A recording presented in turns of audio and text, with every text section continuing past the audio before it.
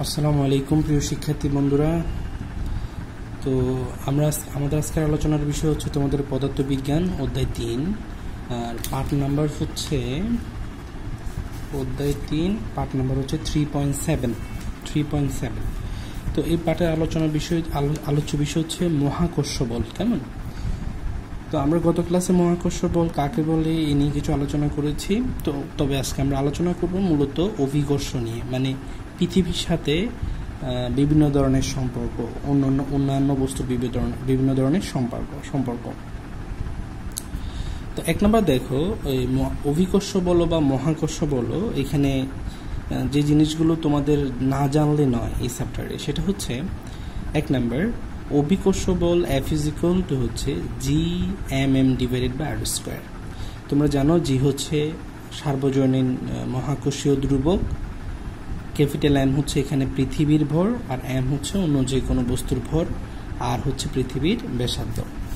একইভাবে অভিকর্ষজ ত্বরণ G is equal to G M by R square তোমরা জানো। এবার দেখো, এই এই দুটো সূত্র, এটা বইতে আছে বাট এটা নাই হ্যাঁ? এটা এবং এটা নাই, তো তোমরা এগুলো শিখে রাখবা। ভূ, ভূপৃষ্ঠ হতে এস মিটার উচ্চতায় অভিকর্ষজ ত্বরণ G prime is equal to capital R মানে পৃথিবীর ব্যাসার্ধ ডিভাইডেড বাই পৃথিবীর ব্যাসার্ধ প্লাস এইচ এইচ হচ্ছে ভূপৃষ্ঠ থেকে যতটুকু উঁচু উচ্চতার কথা বলা হচ্ছে সেটা ইন্টু জি দিয়ে দিলে হবে হোল স্কোয়ার ইন্টু জি এবার আসো, ভূপৃষ্ঠ থেকে এইচ মিটার গভীরতায় বিকর্ষজ ত্বরণ যদি তোমাকে বের করতে বলে, তখন তুমি কি ফর্মুলা অ্যাপ্লাই করবা? তখন আমাদের ফর্মুলা হবে G prime is equal to one minus H by R into G কেমন? এবার আসো, তোমাকে যদি বলো ল্যামডা অক্ষাংশ অভিকর্ষজ ত্বরণ কত? হ্যাঁ ল্যামডা অক্ষাংশে যে বিশ ডিগ্রি অক্ষাংশে কত, ত্রিশ ডিগ্রি অক্ষাংশে কত ইত্যাদি। তো অক্ষাংশ ব্যাপারটা তোমরা হয়তো তোমাদের সমাজ বই থেকে জেনে গেছো অলরেডি যেমন, এটা হচ্ছে, এটাকে বলে আমরা বিষুবীয় রেখা, তাই না? তাহলে এই এই যে রেখাগুলো, এই রেখাগুলোকে উত্তর পূর্ব পশ্চিমকে ঘিরে যে রেখাগুলো থাকে, এই রেখাগুলোকে আমরা বলি অক্ষাংশ, তাই না? মাঝখানেরটা ঠিক মাঝখানেরটাকে আমরা বিষুবীয় রেখা বলি, আর এগুলোকে বলি আমরা অক্ষাংশ। এখন তোমাকে যদি বলল আচ্ছা ধরো এটা হচ্ছে জিরো ডিগ্রি এটা হচ্ছে তোমার forty five degree suppose forty five degree এভাবে ফর্টি এটা নাইনটি পর্যন্ত থাকে, না? নাইনটি ডিগ্রি পর্যন্ত থাকে। তোমাকে বলল আচ্ছা ফর্টি ফাইভ ডিগ্রি অক্ষাংশে জি এর মান কত বের করো? তোমাকে বলল যে, আরেকটু পরে গেল সিক্সটি ডিগ্রি অক্ষাংশে জি এর মান কত বের করো? তোমাকে বলল আচ্ছা আরেকটু পরে গেল, যে সেভেন্টি ফাইভ ডিগ্রি অক্ষাংশে জি এর মান বের করো। কেমন? তো এই যে ল্যামডা যেটা দেখতে পাচ্ছ, এই ল্যামডা হচ্ছে কোণের মান মানে ফর্টি ফাইভ ডিগ্রি যখন বলবে, তখন ল্যামডা ইজ ইকুয়াল টু হচ্ছে ফর্টি ফর্টি ফাইভ যখন সিক্সটি ডিগ্রি অক্ষাংশে বলবে, তখন ল্যামডা ইজ ইকুয়াল টু হবে sixty degree okay I mean এটা একটা এক ধরনের কোণ। তাহলে জি ল্যামডা যে কোনো অক্ষাংশে জি এর মান হবে G M divide by square G তো জানো সার্বজনীন মহাকর্ষীয় ধ্রুবক এম হচ্ছে পৃথিবীর ভর আর হচ্ছে পৃথিবীর ব্যাসার্ধ, আর ওমেগা যেটা দেখতে পাচ্ছ, এটার নাম হচ্ছে ওমেগা তো এই ওমেগা কি? ওমেগা হচ্ছে পৃথিবীর কৌণিক বেগ ওকে পৃথিবীর কৌণিক বেগ ওমেগা তাহলে ওমেগা কি বলতো? ওমেগা ইজ ইকুয়াল টু হচ্ছে পৃথিবীর পৃথিবীর কৌণিক বেগ। কৌণিক বেগ, কেমন? তো পৃথিবীর কৌণিক বেগ কত? ওমেগা ইজ ইকুয়াল টু আমরা লিখব two pi divided by capital T two pi divided by capital T তাহলে টু পাই তো জানো ক্যাপিটাল টিটা কি? ক্যাপিটাল টি হচ্ছে পর্যায়কাল, পৃথিবীর পর্যায়কাল। তো পৃথিবীর পর্যায়কাল কত? টু পাই পৃথিবীর পর্যায়কাল হচ্ছে চব্বিশ ঘণ্টা। তাই না? কারণ সে চব্বিশ ঘন্টায় একদিন চব্বিশ ঘন্টায় একবার আবর্তন করে। হ্যাঁ সূর্যের চারপাশে। সরি নিজের অক্ষে চব্বিশ ঘণ্টা একবার আবর্তন করে। এটা হচ্ছে পৃথিবীর পর্যায়কাল। তাহলে আমরা পৃথিবীর পর্যায়কাল দেখতে পাচ্ছি টোয়েন্টি ফোর আওয়ার্স। চব্বিশ ঘণ্টা। টোয়েন্টি ফোর এইস পর আওয়ার্স ঘণ্টা বোঝাচ্ছি। যেহেতু আমাদের হিসাব নিকাশ সেকেন্ডেই করতে হয়, তাহলে আমরা জানি এক ঘণ্টা সমান ছত্রিশশো সেকেন্ড। তা আমরা টোয়েন্টি ফোরের সাথে যখন ছত্রিশশো গুণ করব, তখন আমরা কি পেয়ে যাব বলো? ছত্রিশশো যখন গুণ করব, তখন এই পুরো রেজাল্টটা সেকেন্ডে চলে আসবে, কেমন? তো তোমরা এটা কেটে দিয়ে ভাগ করো। ভাগ করলে তোমরা কত পাবা? তোমরা পাবা seven point two seven two seven point two seven two into ten to the power তোমার minus five ten to the power minus five second inverse one এটা হচ্ছে পৃথিবীর কি বলো? পর্যায়কাল তথা ওমেগার মান। তাহলে আমরা খুব সহজে ওমেগার মান বের করে ফেলতে পারব এই ফর্মুলা এটা দিয়ে অথবা এটা ব্যবহার করে কনস্ট্যান্ট ফিগার হিসাবে। আর হচ্ছে পৃথিবীর ব্যাসার্ধ R cos square lambda lambda হচ্ছে এই যে অক্ষাংশের মানটা, যে যত ডিগ্রি অক্ষাংশ বলল তত হ্যাঁ? কজ স্কোয়ার ল্যামডা মানে cos square forty five degree cos square sixty degree এটা তোমরা ক্যালকুলেট ক্যালকুলেটর ব্যবহার করে করে ফেলতে পারবা। ওকে তাহলে আমরা কি শিখলাম বলো? বিভিন্ন ক্ষেত্রে ভূপৃষ্ঠ অভিকর্ষজ ত্বরণ, ভূপৃষ্ঠের উপরে অভিকর্ষজ ত্বরণ, ভূপৃষ্ঠের নিচে অভিকর্ষজ ত্বরণ, তারপরে যে কোনো একটা অক্ষাংশ অভিকর্ষজ ত্বরণ আমরা নির্ণয় করে ফেলতে পারব। কেমন? তো আসো, তোমাদের বইয়ে এখানে একটা ম্যাথ দেওয়া আছে। আমরা সেই ম্যাথটাকে আগে একটু সলভ করব। মহাকর্ষ রিলেটেড গত ক্লাসে এই ম্যাথটাই সলভ করতে গিয়ে আমাদেরকে থামতে হয়েছিল, তাই না? তো দেখো এই ম্যাথটা দেওয়া আছে তোমাদের বইয়ের আশি নাম্বার পৃষ্ঠায়। তোমরা যদি ভালোভাবে দেখো, আশি নাম্বার পৃষ্ঠায়, কেমন? অঙ্কটা কি? যে স্পেস স্টেশনের উচ্চতা পৃথিবী পৃষ্ঠ থেকে আনুমানিক একশো কিলোমিটার, যেখানে জি এর মান কত? মানে পৃথিবীর পৃষ্ঠ থেকে একশো কিলোমিটার উপরে জি এর মান তোমাকে বের করতে হবে, তাই না? তো আসো এই ক্ষেত্রে তোমাকে কি কি জানতে হবে? কোন ফর্মুলাটা আমরা ব্যবহার করব? আমরা ব্যবহার করব, আমরা জানি এইচ মিটার উচ্চতায় অভিকর্ষ ত্বরণ G prime is equal to R by R plus H whole square into G এই ফর্মুলাটা ব্যবহার করলে হয়ে যাবে। তাহলে আমাকে কি জানতে হবে বলো? আর জানতে হবে। আর হচ্ছে পৃথিবীর ব্যাসার্ধ। এটা জানতে হবে। এইচ তো অলরেডি দেওয়া আছে যে একশো কিলো, একশো কিলোমিটার। আর পৃথিবীর বা ভূপৃষ্ঠ ত্বরণ জি এর মান কত জানো? আদর্শ মান হচ্ছে নাইন পয়েন্ট এইট তো আমরা নাইন পয়েন্ট এইট বের করে ফেললে হবে। অর্থাৎ শুধুমাত্র ব্যাসার্ধটা জানলে হবে, পৃথিবীর ব্যাসার্ধ জানলে হবে আর এইচ তো দেওয়াই আছে। অথবা ওরা যেটা ব্যবহার করছে G prime is equal to G M by R plus R plus কত R capital R plus R whole square এটাও করতে পারো, কোনো অসুবিধা নেই। ওটা মডিফাইড ফর্মুলা আর এটা এজ ইউজুয়াল ফর্মুলা হুম? দুটাই করতে পারো দুটো যে কোনো একটা ব্যবহার করতে পারো অ্যাজ ইউ উইশ তো আমরা দেখব যে দুইটাই দিয়ে আসলে একই রেজাল্ট আসে কি না এই ক্ষেত্রে তোমাকে দুইটা জিনিস জানতে হবে, সেটা হচ্ছে যে তিনটে জিনিস জানতে হবে, মহাকর্ষীয় ধ্রুবক, সার্বজনীন মহাকর্ষীয় ধ্রুবক, পৃথিবীর বর, পৃথিবীর ব্যাসার্ধ, এই জিনিসগুলো মুখস্থ রাখতে হবে। আর এক্ষেত্রে শুধুমাত্র পৃথিবীর ব্যাসার্ধটা জানলেই চলবে, কেমন? তো আসলে আমরা মানগুলো ব্যবহার করতে যাচ্ছি। এখানে আর ইজ ইকুয়াল টু পৃথিবীর ব্যাসার্ধ পৃথিবীর ব্যাসার্ধ তোমাদের বইতে ছয় হাজার কিলোমিটার ধরছে। কত কিলোমিটার ধরছে বলো তো? পৃথিবীর ব্যাসার্ধকে তারা ছয় হাজার কিলোমিটার ধরছে, কেমন? তবে এই এই ঠিক আগের পেজে পৃথিবীর ব্যাসার্ধকে তারা ধরছে six point three seven into ten to six metre কেমন? তো এই যে এই যে কন্ট্রাডিকশন যে ব্যাপারগুলো, এইগুলো আসলে কীভাবে যে কারেকশন করা যায়? হ্যাঁ এটা হচ্ছে six point three seven into ten to six metre আর এখানে কি ধরলো বলো? এখানে ধরলো ছয় হাজার কিলোমিটার। তো ব্যাপারটা একটা ভিন্ন। না, আসলে আমরা পৃথিবীর ব্যাসার্ধকে আর হিসাবে এটাকেই ধরবো, সবসময় এটাকেই ধরবো। কত ধরবো বলো? Six point three seven into ten to six metre ধরবো। আর পৃথিবীর ভর হিসেবে আমরা কত ধরবো বলো? Five point nine eight into ten to twenty four কেজিকে ধরবো। দেখা যাক তোমাদের বইতে কত ধরছে। এইখানে পৃথিবীর ভর তারা দেয়নি। মানে নিজেরা মাইন্ড ক্যালকুলেশন করছে, কেমন? মাইন্ড ক্যালকুলেশন করছে আমি জানি না এরা কত বর ব্যবহার করছে। তোমরা নিজেরা একটু ভরটা ব্যবহার করে দেখো। এদের ফর্মুলা ব্যবহার করে দেখো একবার, তারপর আমি যে খাতায় যে ফর্মুলাটা দিলাম, ওটা বের করে দেখো, কেমন? তাহলে আসো আমরা একটু করে দেখি। এক হাজার কিলোমিটার সরি একশো কিলোমিটার একশো কিলোমিটার উচ্চতায় উচ্চতায় অভিকর্ষজ ত্বরণ নির্ণয় করে, তাই না? অভিকর্ষজ ত্বরণ কত আমাদেরকে বের করতে হবে। তার আমরা কী কী জানি এগুলো একটু লিখে ফেলি। এখানে প্রথমে তোমাদের বই দেওয়া ফর্মুলা দিয়ে করব। এখানে পৃথিবীর ভর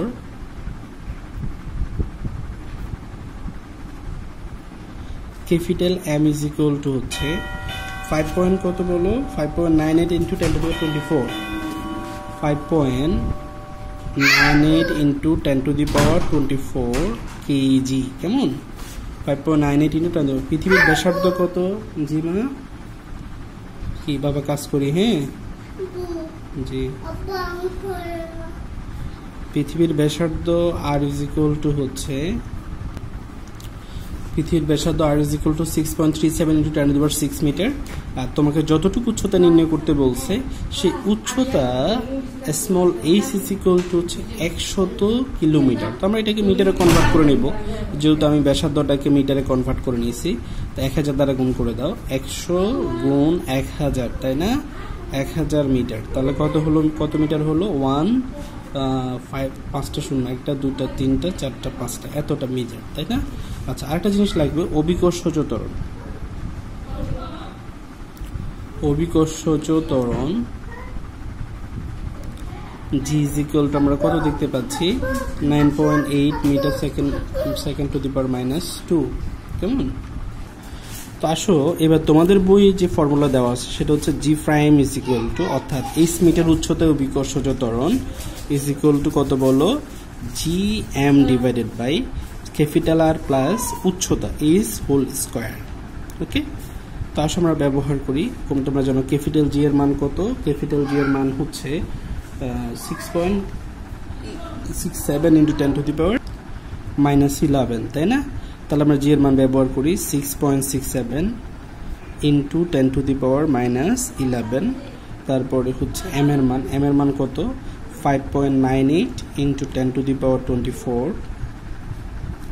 capital R capital R এর মান হচ্ছে six point three seven into ten to the power six plus H এর মান কত? এইস এর মান হচ্ছে একের সাথে পাঁচটা শূন্য না?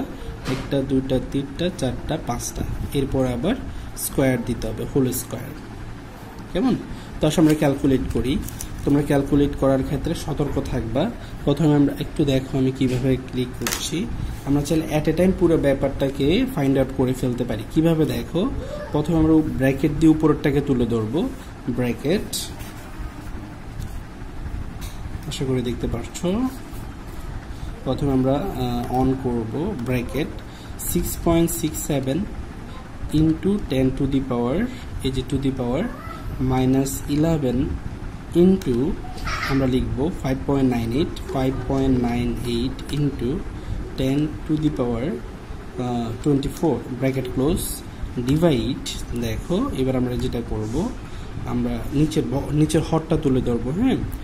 Six point six point three seven into ten to the power six okay plus একের সাথে পাঁচটা শূন্য। এক, দুই, তিন, চার, পাঁচ। ব্রেকেট স্কোয়ারটা দিয়ে দাও।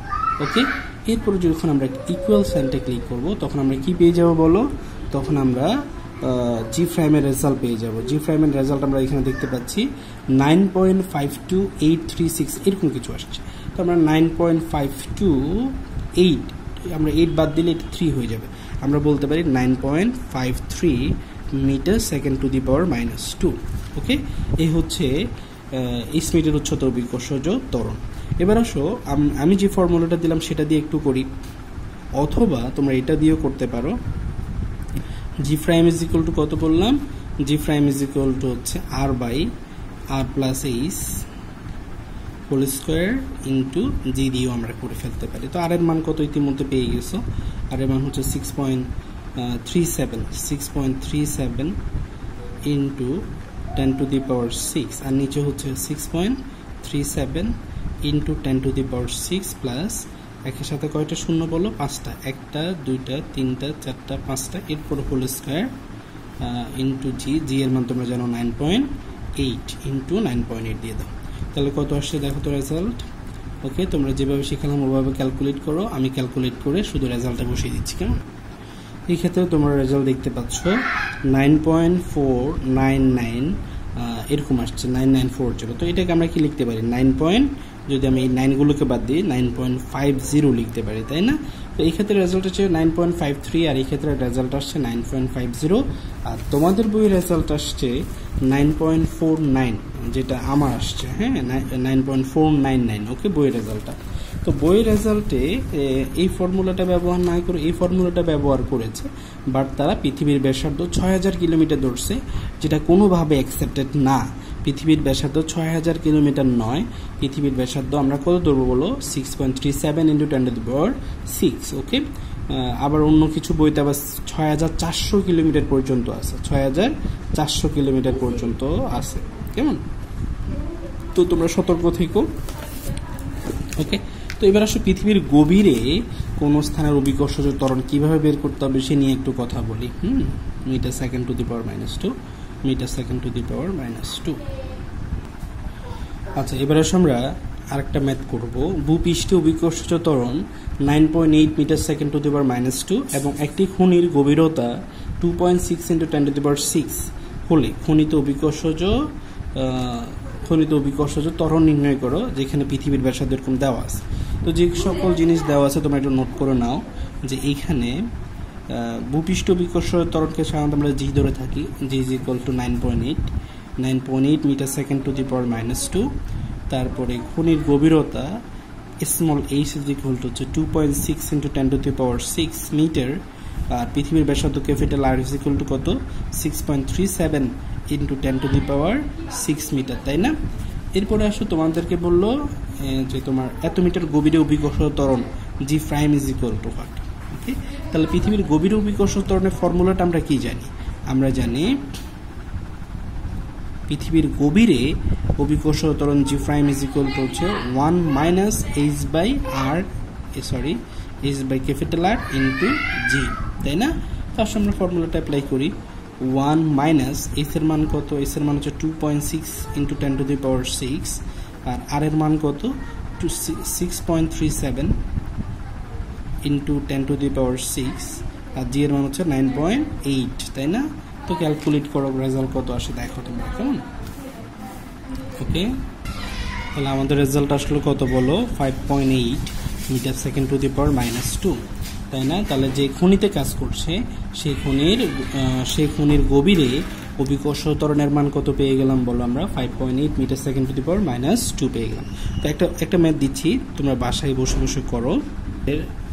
এই ম্যাথটা তোমাদের হোমওয়ার্ক হিসেবে থাকবে, যে ভূপৃষ্ঠে ও কোনো খনির গভীরে অভিকর্ষ ত্বরণ তর যথাক্রমে nine point eight metre second to the power minus two O nine point seven six metre second to the power minus two হলে খনির গভীরতা কত? তোমাকে খনির গভীরতা বের করতে হবে, যেখানে পৃথিবীর ব্যাসার্ধ দিয়ে দেওয়া হচ্ছে। তো আচ্ছা আমি আনসারটা বলে দিচ্ছি, গভীরতা গভীরতা এইচ ইজ ইকুয়াল টু হবে two point six into ten to the power four metre okay তো তোমরা আনসার বের করে নিজেরা করো এবং আনসারের সাথে মিলিয়ে নাও, কেমন? দর্শক এবারে আমাদের এবারে প্রশ্ন হচ্ছে ফর্টি ফাইভ ডিগ্রি অক্ষাংশ অভিকর্ষজ ত্বরণ নির্ণয় করো ওকে তাহলে ল্যামডা ইজ ইকুয়াল টু আমরা কত পাচ্ছি বলো তো? আমাদের ল্যামডা ইজ ইকুয়াল টু পাচ্ছি ফর্টি ফাইভ ডিগ্রি কেমন? তা আমাদের কি বের করতে হবে? আমাদের বের করতে হবে জি অফ ল্যামডা হ্যাঁ জি অফ ল্যামডা বা G of forty five degree বা G of forty five degree is equal to what I mean forty five degree অক্ষাংশে জি এর মান নির্ণয় করে। তো আমরা কি জানি? এই কথাগুলো একটু সাজিয়ে গুজিয়ে লিখব। এগুলো তো তারা তোমাকে ইনফরমেশন হিসেবে প্রশ্নে দিয়ে দিয়েছে।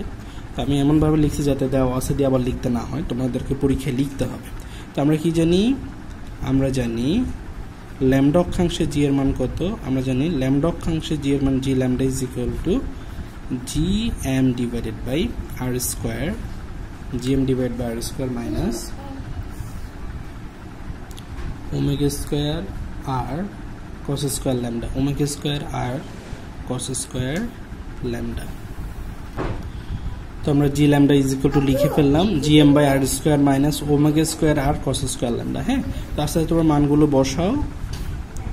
জি এর মান কত জানো? Six point six seven into ten to the power minus eleven M এর মান কত জানো? Five point nine eight into ten to the power twenty four capital R এর মান তোমরা কত জানো? Six point three seven into ten to the power six whole square okay ওমেগার মান আমরা কত জানি? ওমেগার মান আমরা জানি two by divided by twenty four into three six double zero কেমন?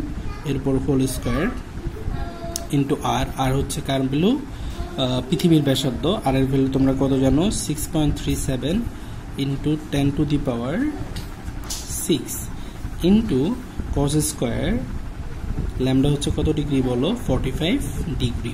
তাই না? তো তোমরা এটা ক্যালকুলেট করো কত আসে দেখো। স্টেপ বাই স্টেপ করো, আস্তে আস্তে তাড়াহুড়া করার দরকার নাই। এটার রেজাল্ট কত আসে দেখো, তারপর এটার রেজাল্ট কত আসে দেখো, তারপর ভিউ করে দাও, তোমরা জি এর মান পেয়ে যাবে, কেমন? তো দেখো আমরা প্রথম অংশের রেজাল্ট পেলাম নাইন পয়েন্ট এইট থ্রি এবং দ্বিতীয় অংশের রেজাল্ট পেলাম zero point zero one six eight four okay তাহলে এই দুটাকে আমরা যদি মাইনাস করি, আমরা ফর্টি ফাইভ ডিগ্রি অক্ষাংশে জি এর ভ্যালু পেয়ে যাব। চলো মাইনাস করি nine point eight three nine point eight three minus answer okay is equal to আমরা রেজাল্ট দেখতে পাচ্ছি nine point eight one three one এই টাইপের nine point eight one three one তো আমরা লিখব nine point eight one three one metre second to the power minus two এ হচ্ছে forty five degree অক্ষাংশে জি এর ভ্যালু কেমন? তাহলে একটা নির্দিষ্ট অক্ষাংশে যদি তোমাকে জি এর ভ্যালু বের করতে বলে, তোমরা এই ফর্মুলা ব্যবহার করে খুব সহজে জি এর ভ্যালু বের করে ফেলতে পারবা, কেমন?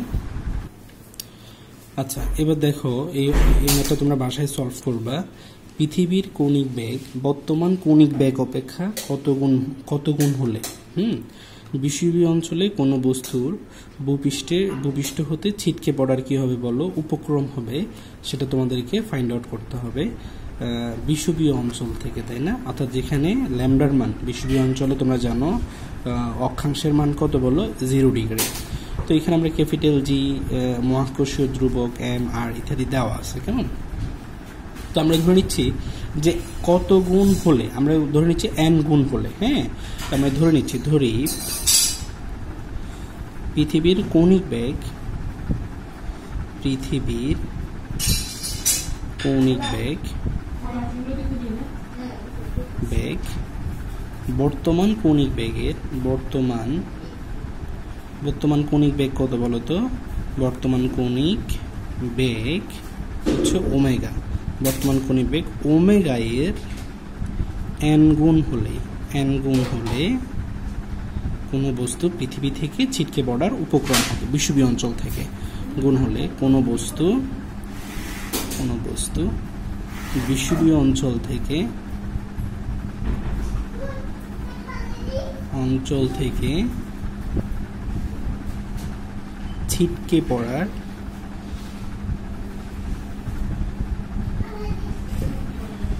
উপক্রম হবে বলে আমরা ধরে নিলাম, কেমন? আচ্ছা তার মানে এখন আমরা আমরা যে ফর্মুলাটা জানতাম G lambda is equal to কত ছিল বলো? G M divide by R square minus omega স্কোয়ারের পরিবর্তে, আমরা এখন আর ওমেগা ব্যবহার করব না, কারণ আমরা বর্তমান ওমেগাটায় কত ধরতেছি বলো? আগের ওমেগার এন গুণ ধরে নিচ্ছি, তাই না? তাহলে আমরা N into omega whole square বলব, কেমন? তারপর আমরা এই লিখব আর কস কস স্কোয়ার ল্যামডা। কেমন? আচ্ছা কেন এখানে এন ধরলাম? কারণ আমরা ধরে নিচ্ছি যে বর্তমান কৌণিক ব্যাগ হচ্ছে কত বলো এন ওমেগা স্কোয়ার। কেমন? এবার দেখো, এবার এই ফর্মুলা দিয়ে তোমরা সামনে আগাবা। এবার দেখো, এখানে যেহেতু বস্তুটা ছিটকে পড়ার উপক্রম হচ্ছে, পৃথিবী থেকে বাইরে চলে যাবে, তাহলে বস্তুর উপর অভিকর্ষ ত্বরণের মান কত বলো zero obviously G lambda is equal zero আমরা তাহলে কি বলব?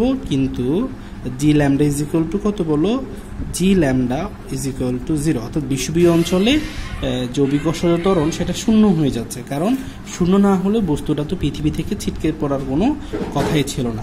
তাহলে আমরা কি বলতে পারব? সুতরাং আমরা বলতে পারি G M divided by R square minus N omega square N omega whole square R cos square lambda is equal to আমরা জিরো ধরবো। জিরো ধরে সেখান থেকে আমরা কার মান বের করে নিব বলো? এন এর মান বের করে নিব। তো এন এর মান বের করে নিলে তোমরা বলতে পারবা যে পৃথিবীর বর্তমান কৌণিক বেগ পৃথিবীর কৌণিক বেগ বর্তমান কৌণিক বেগের কত গুণ হলে তোমাদের বস্তুটা বিষুবীয় অঞ্চল থেকে ছিটকে পড়ার উপক্রম হবে। তো তোমাদের সুবিধাতে আমি এন এর মান বলে দিচ্ছি।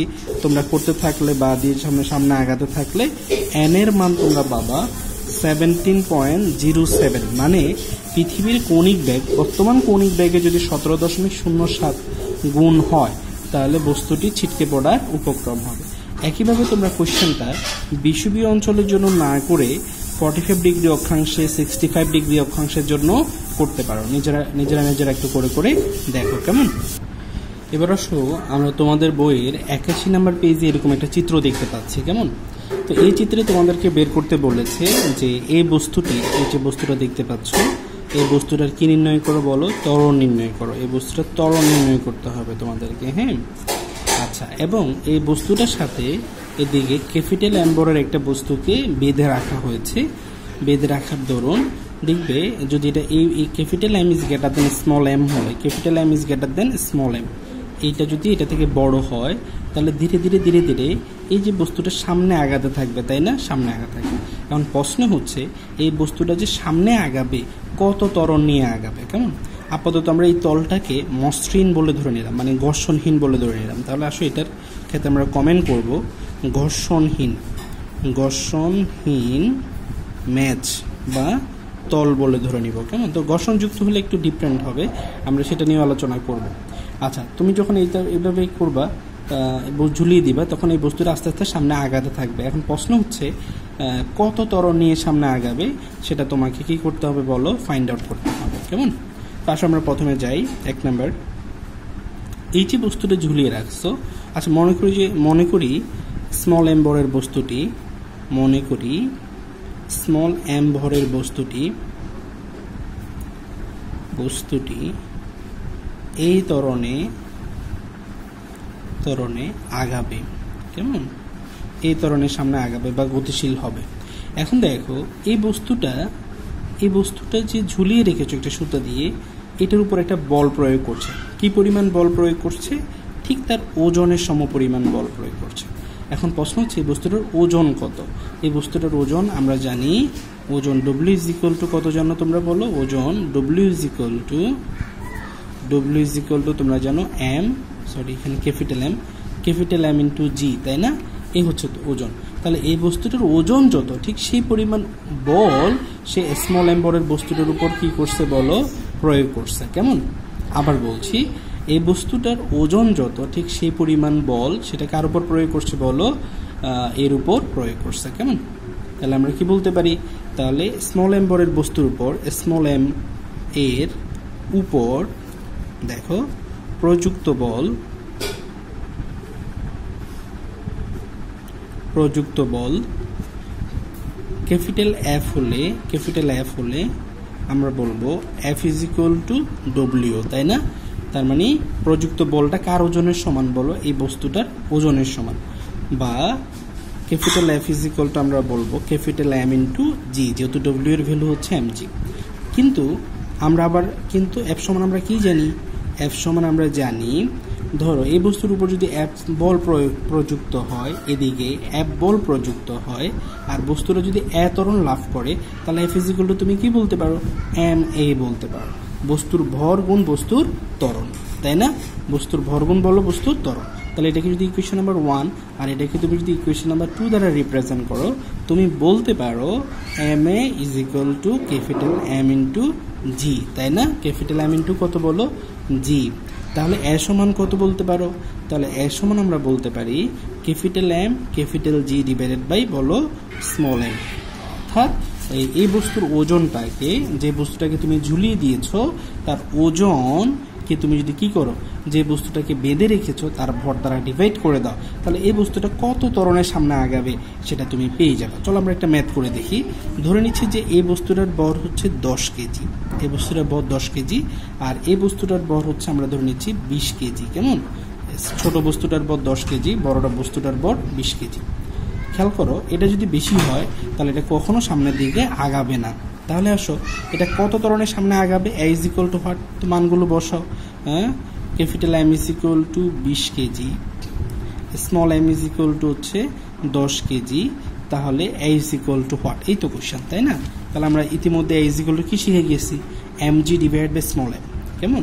তাহলে দেখো ক্যাপিটাল এম এর মান হচ্ছে টোয়েন্টি জি এর মান হচ্ছে নাইন পয়েন্ট এইট আর স্মল এম এর মান হচ্ছে কত বলো? Ten metre second to the power minus two তাহলে পাচ্ছ তোমার টেন দিয়ে টোয়েন্টিকে ডিভাইড করো টেন দিয়ে টোয়েন্টিকে ডিভাইড করলে হচ্ছে তোমার কত? Two two into nine point eight মানে হচ্ছে sixteen point nineteen point six nineteen point six metre second to the point minus two ধরনের সামনে আগাতে থাকবে, কেমন? যদি তুমি দশ কেজি বরের একটা বস্তুর সাথে বিশ কেজি বরের একটা বস্তুকে এ বেঁধে, একটা ঘর্ষণহীন তলে এইভাবে বেঁধে রাখো, তাহলে ছোট বস্তুটা nineteen point six metre second to the power minus two তরণে বড় বস্তুটার দিকে আগাতে থাকবে। আচ্ছা এবারও দেখো, আমি আবার পূর্বে চিত্রটাতে চলে আসলাম। একটা বস্তুর সাথে আরেকটা বস্তুকে এরকম একটা কফিকল ব্যবস্থার মাধ্যমে ঝুলিয়ে দেওয়া হলো। তবে এবার কিন্তু তলটার ঘর্ষণহীন না, বরং তলটা হচ্ছে ঘর্ষণ যুক্ত কেমন ঘর্ষণযুক্ত একটা ম্যাচ? তোমাদের কাছে প্রশ্ন হচ্ছে, এই যে বস্তুটাকে, এই বস্তুটার সাথে বেঁধে দেওয়া হলো, এই বস্তুটা কত ত্বরণের সামনে আগাবে হ্যাঁ? তাহলে আসো এম বস্তুর ত্বরণ এম বস্তুর ত্বরণ A is equal to suppose what আমরা এ ধরে নিচ্ছি, এর মানটা আমাদেরকে বের করে নিতে হবে। তো আগের মতোই সব ঠিকঠাক আছে যে, আমরা আগে যেটা অ্যাপ্লাই করেছ তোমরা দেখেছ কি পরিমাণ বল প্রয়োগ করছে বলো তো এই বস্তুটার উপর, এই বস্তুটা কি পরিমাণ বল প্রয়োগ করছে? এফ পরিমাণ বল প্রয়োগ করছে। আর এই এফটা কার ইকুয়াল এফটা হচ্ছে এই বস্তুটার ওজনের সমান, এই বস্তুটার ওজনের সমান। তো আমরা এইভাবে লিখতে পারি। আমরা জানি ক্যাপিটাল এফ প্রযুক্ত বল ইজ ইকুয়াল টু খেয়াল করো, প্রযুক্ত বল is equal to M A তাই না? প্রযুক্ত বল ইজ ইকুয়াল টু কি বলো? এম এ মানে এই বস্তুর বর্গুণ এই বস্তুর ত্বরণ। আর এফ এফ এর পরিবর্তে আমরা কিছুক্ষণ পর এমজি লিখব মানে প্রযুক্ত বলটা এই বস্তুর ওজনের সমান। এখন, ধরো, এই বস্তুটা অ্যাপ বলে এই বস্তুটাকে এই দিকে টানছে, তাই না? অ্যাপ বলে এই দিকে টানছে। কে? এই যে বস্তুটা। কিন্তু ঘর্ষণ বল কি করতেছে জানো? এই যে ঘর্ষণ বলের মান দিয়ে দেওয়া হলো এফ কে দ্বারা ডিনোট করলাম। কে এফ হচ্ছে গতীয় ঘর্ষণ মানে গতির বিরুদ্ধে যে ঘর্ষণ বল কাজ করে, দুই ধরনের ঘর্ষণ বল আমরা পড়ব, একটা হচ্ছে স্থিতি ঘর্ষণ, একটা হচ্ছে গতি ঘর্ষণ। সাপোজ এটা হচ্ছে গতীয় ঘর্ষণ এফ কে দ্বারা ডিনোট করবা। তো গতীয় ঘর্ষণ বলের মানে আমরা টু নিউটন দিলাম। তো ঘর্ষণ বলটা কি? এই ঘর্ষণ বলটা হচ্ছে যে গতির বিরুদ্ধে কাজ করে। ব্যাপারটা হচ্ছে অনেকটা এরকম, যে এই বস্তুটা যখন সামনের দিকে যেতে থাকবে, তখন একটা ঘর্ষণ বল, খেয়াল করো, একটা ঘর্ষণ বল তাকে এরকম বাধা দিবে, তাই না? ওকে? আচ্ছা এই যে একটা ঘর্ষণ বল আমি দেখাতে চাচ্ছি যে এই যে মানুষের অবয়ব তৈরি করলাম এটাকে এটা ঘর্ষণ বল মনে করো কেমন? জি মা। হ্যাঁ? আচ্ছা আচ্ছা। তাহলে এই মানুষের অভাব যেটা দেখতে পাচ্ছ, এটা সাপোজ ঘর্ষণ বল এটা তার গতির ঠিক উল্টো দিকে কাজ করছে মানে বিপরীত দিকে। তাহলে দেখো, এ যে পরিমাণ বল প্রয়োগ করছে, এই পরিমাণ বল কিন্তু কি হবে না বলো? এই বস্তুর উপর প্রযুক্ত হবে না, তার থেকে কিছুটা কম হবে। কারণ কি? যে এর বিরুদ্ধে কিছু পরিমাণ কাজ বল কি হয়ে যাবে? নষ্ট হয়ে যাবে। তাহলে কি পরিমাণ নষ্ট হয়ে যাবে? এফ কে পরিমাণ। ওকে তাহলে দেখো এই বস্তুটা একে সামনে টানছে এফ নিউটন বলে, আর এ ঘর্ষণ বল, মেজের ঘর্ষণ, এদিকে ধাক্কা দিচ্ছে এফ কে বলে, তাই না? তাহলে কি পরিমাণ বল এই বস্তুর উপর প্রযুক্ত হচ্ছে? এই ক্যাপিটাল এফ থেকে এফ কে যদি মাইনাস করে দাও। ব্যাপারটা একটু বুঝাই বলি তোমাদেরকে হ্যাঁ? ধরো এই বস্তুর উপর এদিক থেকে বল প্রযুক্ত হচ্ছে এদিকে এদিকে মানে এটার মতো, এদিকে বল প্রযুক্ত হচ্ছে বিশ নিউটন। আর এদিকে ঘর্ষণ বলের কারণে তার উল্টো দিকে প্রযুক্ত হচ্ছে, বল প্রযুক্ত হচ্ছে দুই নিউটন। তাহলে বলতো এই বস্তুর উপর কী পরিমাণ বল প্রযুক্ত হচ্ছে? এই বস্তুর বল প্রযুক্ত হচ্ছে বিশ বিয়োগ দুই, অর্থাৎ আঠারো নিউটন, তাই না? Twenty minus two newton. সমান হচ্ছে কত নিউটন বলো? আঠারো নিউটন। একইভাবে এই বস্তুটা, এই বস্তুটাকে এর দিকে টানছে এফ নিউটন বলে। আর ঘর্ষণ বল তাকে বিপরীত দিকে ধাক্কা দিচ্ছে এফ কে নিউটন বলে। তাহলে মাঝে থাকা বস্তুটার উপর প্রযুক্ত বলের মান কত? এদের বিয়োগফলের সমান। তাহলে আমরা বলব F minus F of K তাহলে দেখো, ঘর্ষণযুক্ত ম্যাজের ক্ষেত্রে কিন্তু আমাদের নিউটনের তৃতীয় দ্বিতীয় সূত্র থেকে যে আমরা যে সূত্রটা প্রতিপাদন করেছি F is equal to M A, সেটা F is equal to M A না। সেটা হবে কত বলো? F minus F of K is equal to M A. এবং এটাই হচ্ছে নিউটনের দ্বিতীয় সূত্রের আদর্শ ফর্মুলা কারণ কোনো ম্যাজই ঘর্ষণহীন না। ইনকে যদি ঘর্ষণহীন হয়, তাহলে আমরা F K is equal to zero বসিয়ে দিলেই তো আমরা F is equal to M A পেয়ে যাচ্ছি। তাহলে আমরা এই ফর্মুলাটাকে মনে রাখব। মানে আমি যেটা বুঝাতে চাচ্ছি F is equal to M A থেকে এম এ থেকে F is F minus F of K is equal to M A ফর্মুলাটা মনে রাখাটা বেটার কেমন? কারণ F is to M A মনে রাখলে হবে কি, তুমি ঘর্ষণ বল কাউন্ট করবা না। আর F is to F of F minus F of K is to M A মনে রাখলে তুমি ঘর্ষণ বল কাউন্ট করবা। ইনকে যদি জিরো হয় তো জিরো বসিয়ে দিলে তো এটা চলে আসে। কেমন? আর জিরো না হলে তোমার ম্যাথ ভুল হওয়ার কোনো পসিবিলিটি থাকবে না। এখন আসো। এখন আমাদের টার্গেট হচ্ছে এর মানটা বের করা, তাই না? তাহলে আমরা কি পাচ্ছি? এফ ইকুয়াল টু হচ্ছে F minus F of K divided by small M এখন ক্যাপিটাল এফ এর মান কত? ক্যাপিটাল এফ হচ্ছে এই বস্তুটার ওজনের সমান। কারণ এর ওজন যত, ঠিক তত বল এসে এই বস্তুটাকে নিচের দিকে, নিজের দিকে টানছে। তাহলে ওজন কত কিছুক্ষণ আগে দেখেছ? Capital M into G minus F of K F of K divided by small M তো আমরা স্মল এম এর ভ্যালু আগের মতো ধরে নিচ্ছি দশ কেজি। আর ক্যাপিটাল এম এর ভ্যালু আমরা ধরে নিচ্ছি বিশ কেজি। এবার দেখি একটু রেজাল্ট কত আসে, কেমন?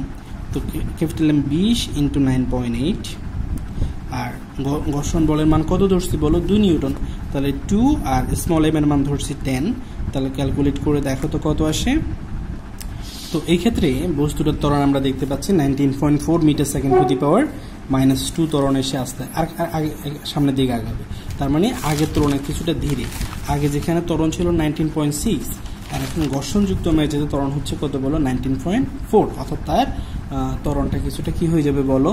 কমে যাবে, তাই না? আচ্ছা এরপরে যে ফিগারটা আমরা সেই ফিগার নিয়ে আলোচনা করব ইনশাল্লাহ তো আসো, এবার আমরা এই টাইপের একটা চিত্র দেখতে পাচ্ছি বইতে। সেখানে এম টু বরের একটা বস্তুকে এম ওয়ান এবং এম থ্রি এম থ্রি বরের দুটি বস্তু দ্বারা ঝুলিয়ে রাখা হয়েছে, কেমন? তো তোমাদেরকে প্রশ্ন করেছে এম টু বস্তুর উপর প্রযুক্ত বল নির্ণয় করো। তো আমি ধরে নিচ্ছি, তোমাদের বই দেওয়া আছে এম ওয়ানের ভ্যালু হচ্ছে তোমার দশ কেজি। এম ওয়ান সমান কয় কেজি বলো? দশ কেজি দেওয়া আছে। এম থ্রি সমান দেওয়া আছে, দেখতে পাচ্ছি। পাঁচ কেজি, এরকম দেওয়া আছে। আর এম টু সমান একটু ছোট যদিও দেওয়া নেই, আমি একটু ছোট বোধ ধরে নিচ্ছি।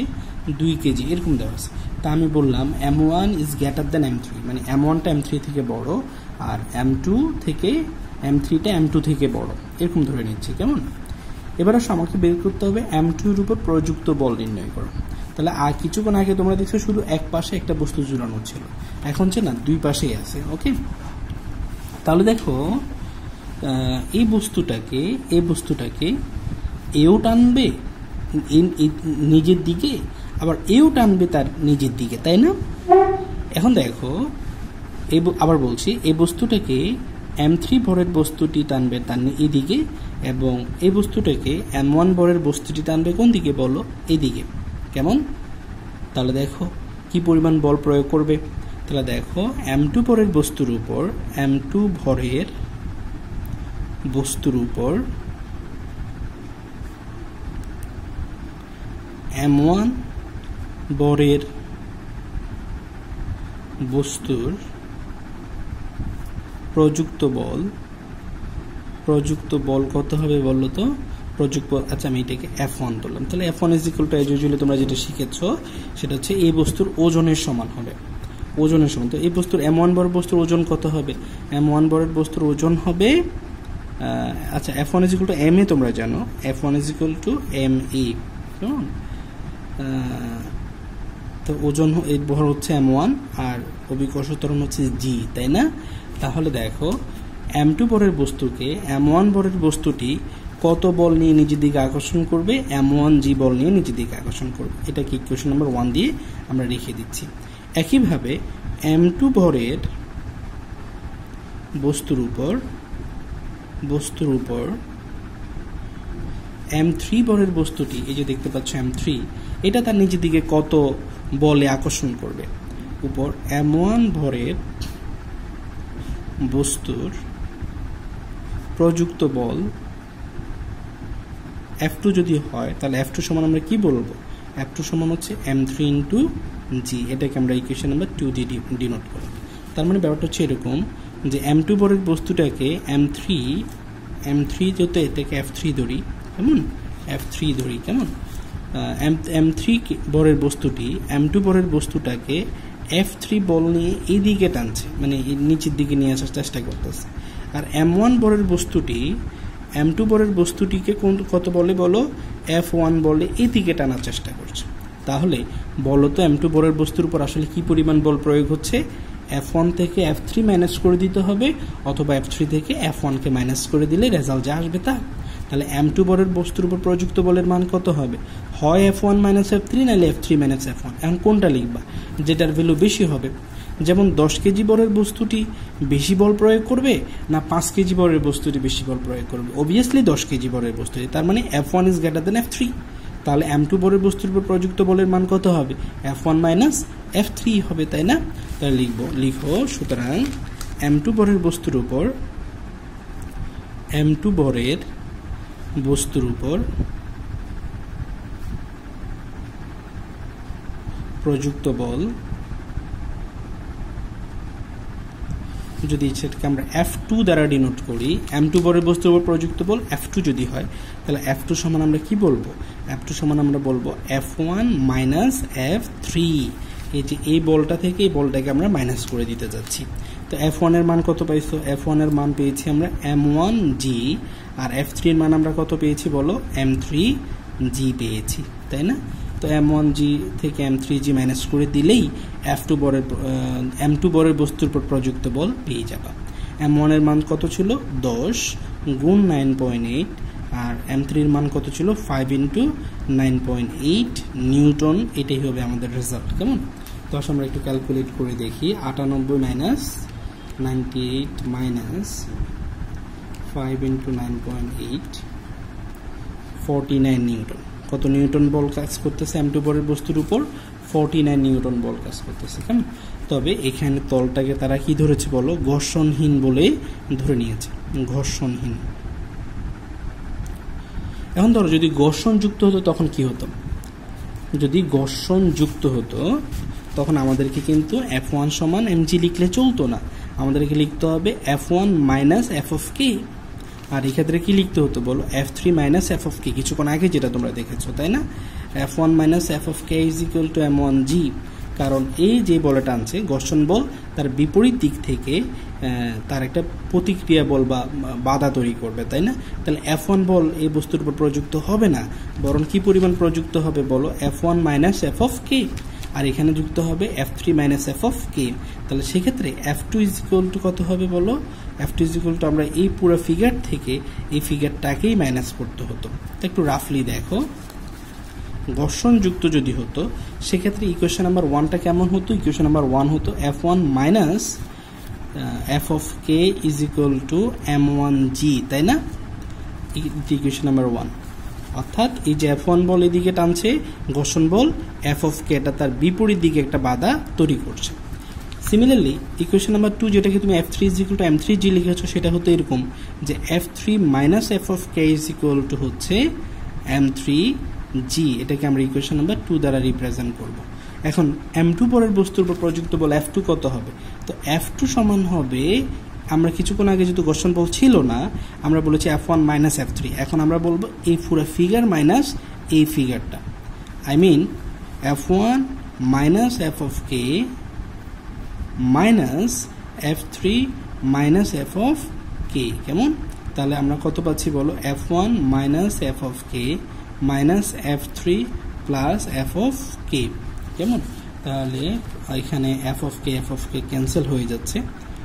তাহলে আমরা পাচ্ছি F one minus F three মানে আগের রেজাল্টটা ফিরে আসছে। অর্থাৎ ঘর্ষণযুক্ত আর ঘর্ষণহীন হলেও একই ধরনের বল প্রযুক্ত হবে এখানে বল কোনো ধরনের বাধাগ্রস্ত হবে না, কেমন? এখন যদি তোমাকে ত্বরণ নির্ণয় করতে বলে যে এম টু বস্তু বলের বস্তুর উপর প্রযুক্ত বল নির্ণয় না করতে বলে যে ত্বরণ নির্ণয় করতে বলে, অর্থাৎ এম টু বলের বস্তুটা তো এদিকে আসতেছে, তাই না?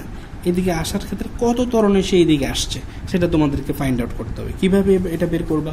যেমন দেখো, আমরা এফ টু সমান কত জানি? F one minus F three আমরা এই জায়গা থেকে শুরু করব।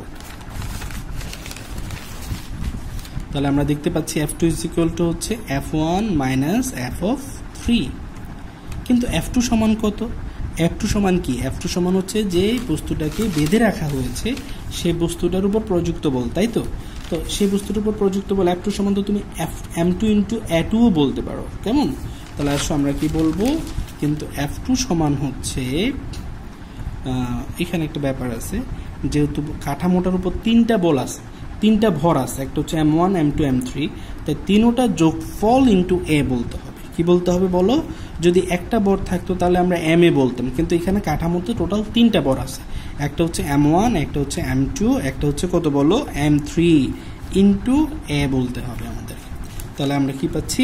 সুতরাং আমরা পাচ্ছি F two minus F two is equal to F one minus F three ইকুয়েশনটা থেকে আমরা কি পাচ্ছি? এবার দেখো এফ টুর মান বসাও। M one plus M two plus M three into A is equal to F one minus F three সুতরাং A is equal to what A is equal to আমরা দেখতে পাচ্ছি F one minus F three divided by M one plus কত বলো M three ইতিমধ্যে তোমরা F one minus F থ্রির মান পেয়েছ নাইনটি ফর্টি নাইন আর এম ওয়ানের মান হচ্ছে দশ এম টুর মান হচ্ছে দুই এম থ্রির মান হচ্ছে পাঁচ। হ্যাঁ তাহলে কত হলো? ফর্টি নাইন ডিভাইডেড বাই এটা হচ্ছে metre second to the power minus টুতে রেজাল্ট আসবে। ফর্টি নাইন দশে দুয়ে বারো, আর সতেরো হলো না। Seventeen metre second to the power minus two তাহলে ফোরটি নাইনকে সেভেন্টিন দ্বারা ডিভাইড করে দাও। আমরা পাচ্ছি two point eight eight two point eight eight metre second to the power কত বলো? মাইনাস টু তাহলে এই যে বস্তুটা দেখতে পাচ্ছ, এই বস্তুটা এই দিকে আসবে এবং কত তরণে আসবে? Two point eight eight metre second to the power minus two তরণে আসবে। কেন এখানে তিনটা ভর ব্যবহার করলাম? কারণ এখানে এই কাঠামোটাতে টোটাল ভরের পরিমাণ কত বলো? তিনটি। এই তিনটা ভরকে আমাদেরকে যোগ করে মোট ভর ইন্টু তরণ হিসেবে কাউন্ট করতে হবে। কেমন? তাহলে আসো, এরকম কাঠামোতে ত্বরণ বের করার ফর্মুলাটা কি? ত্বরণ বের করার ফর্মুলা হচ্ছে F one minus F three divided by total ভর। ডিভাইডেড বাই কি বলো? টোটাল ভর। আশা করি বুঝতে পেরেছ, আর যদি ইনকেস না বুঝো, আমাকে কমেন্ট করে জানাও, কেমন? এবার দেখো, এই ম্যাথটা এখানে একটা ফিগার দেখতে পাচ্ছ। তোমাদের কোশ্চেন হচ্ছে এম থ্রি বরের বস্তুর উপর প্রযুক্ত বল ত্বরণ নির্ণয় করো। আবার এখানে একটা কোশ্চেন দেখতে পাচ্ছ। তোমাদের কোশ্চেন তোমাদের কাছে কোশ্চেন হচ্ছে এম টু পরে বস্তুর উপর প্রযুক্ত বল ত্বরণ নির্ণয় করো। এটা তোমরা নিজেরা নিজেরা করার চেষ্টা করো, কেমন?